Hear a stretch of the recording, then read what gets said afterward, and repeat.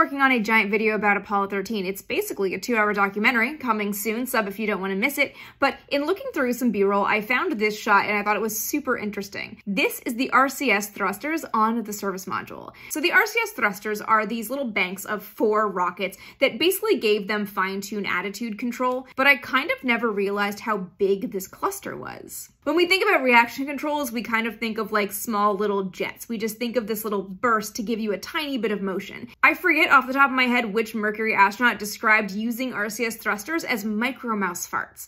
They're not supposed to feel like a giant burst of power, and to be fair, if they're being fired in little spurts, they're not. But when you see them in this test, first of all, with a human hand for scale, they're massive. But also, look at the raw power of these RCS jets firing. This is a lot. Anyways, I just thought this was really neat because we don't often see these RCS jets firing, right? We see the two spacecraft flying separately, we see their views of each other, but they're not often doing crazy maneuvers on footage that we get. So I thought this was a neat test.